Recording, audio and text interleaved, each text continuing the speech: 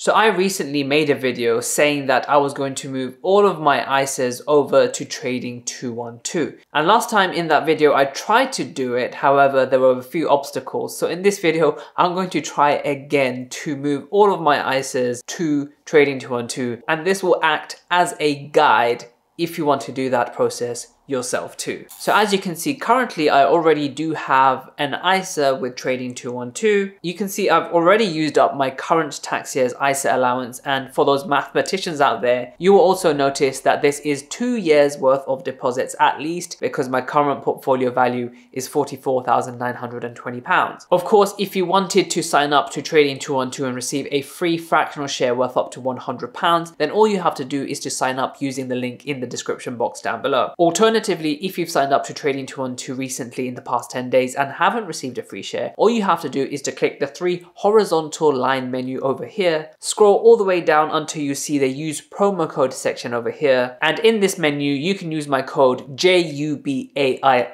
and you should receive a free share after signing up. So here is the ISA that I want to transfer over. As you can see, the current ISA portfolio balance is 59,420 pounds. This is actually just two years worth of deposit deposits. The rest is actually just capital gains, which is really good for me. But anyway, I want to transfer this ISA over to my Trading 212 ISA so I can consolidate everything. So in my previous video, I've realized that you can't actually do in-specie transfers out from Invest Engine, unfortunately. So what I had to do since then was to actually liquidate all my holdings. As you can see, all the money was in the Vanguard FTSE All World, but now you can see from here, I have 59,420 pounds in cash. If I go over here, you can see that I sold out completely 573.8 83 shares in the FTSE All World and that was at a price of £103.55 pence, which I was really happy about so I'm not too upset about that. Once the money does get transferred over I'm going to try to buy back the FTSE All World or maybe I'll go with the S&P 500. Stay tuned to see what decision I make if you're interested in that but I'm pretty happy with what I sold out as cash. The dangers with actually transferring over in cash is that you can be out of the market for really important days. For example, what if I was out of the market and the price shot up to 110 pounds. I might not ever get the time in the market to actually get back at that price and I'll be losing out tens of thousands of pounds potentially. But anyway, you can see available for withdrawal is 59,420 pounds. The other thing that I do have to mention is that I am actually waiting for a dividend to be paid because of course I held the VWRL before the ex-dividend date, even during the ex-dividend date. So I am entitled to dividends of around 200 pounds. This should be paid out in two days. However, However, I'm going to start the ISA, you know, transferal process because I think it could take longer than two days and hopefully they will transfer all my money from my Invest Engine account over to Trading 212. Now, even if the dividends get paid into this account afterwards, I'm actually going to do a whole other form and I'll keep you updated if you actually want to find out how the dividends work after transferring an ISA. But anyway, I'm back to my Trading 212 ISA and all you have to do is to again click the three horizontal line menu over here and then go over to where it says portfolio transfer transfers. Now there are two types of transfers. One is incoming, so it's coming in to your Trading 212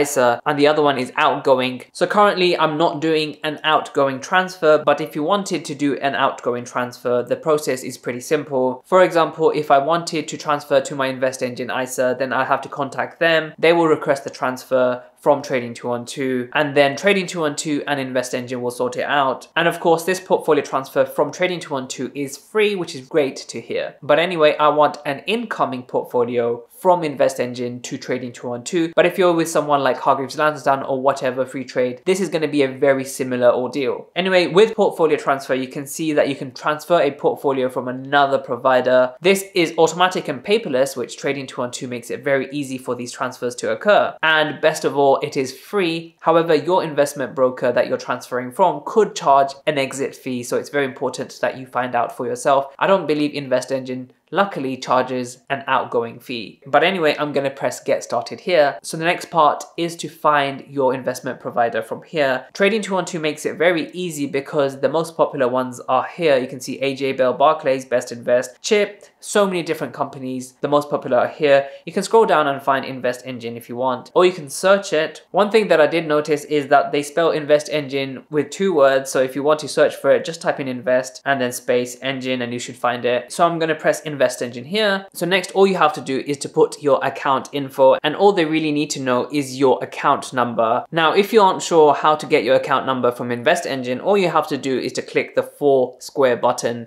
or the Windows looking button here. And then the first one, personal info. So under where it says client reference, that is your account number. And you can press this button here and it will copy that number to a clipboard. So then you can just go back to Trading 212 and just paste it in. Now there are two types of ISA transfers. One is of course stocks and shares ISAs, which we're doing here. If you have a cash ISA from someone, let's say Halifax, you should also be able to do this process. Although I have heard there is a huge backlog when it comes to cash ISA transfers, so I'm not sure how long that will take. But anyway, I can click stocks and shares ISA here and press next. So unfortunately, Invest Engine does not currently support an in-specie transfer out of Invest Engine. So what we're going to have to do is just a cash transfer, the only option we have here. And what I want is a full transfer of all the cash sitting in my Engine account. So I'm going to do full transfer here. However, you can do a partial transfer if you want, and then you can select the current year tax amount you want to transfer. I'm going to go with full transfer. You can also do transfers of previous tax years, and you can just put in what number you want there. So I'm just going to go with a full transfer to make everything simple. You can switch these on and off as you wish. So I'm just going to press next here. So we're almost ready to go here, and next what you have to do is to review the documents, make sure all the personal details are correct, and then you can press review and sign form. So I've just checked that all of my personal details are correct, up to date, and matching what I have for both the platforms. So I've recently moved address and I need to make sure that it is the same address on both platforms. And then you can confirm the transfer details. You can see the current tax year subscription is full. Although my Invest Engine account isn't my current tax year, I'm still going to do a full transfer everywhere. Previous tax year subscriptions full. So all the cash sitting in my Invest Engine account should be moved over. And then when I confirm all the details, read through the whole document, I can press sign document here. And then you can use your finger to sign the document. As you can see, that is a fake signature. So I'm going to do that again. And then it is as simple as that. The transfer request has been submitted and then you're done. When you go back to this menu, you can see portfolio transfers incoming. It says portfolio transfer. There's a little waiting icon here and its current status is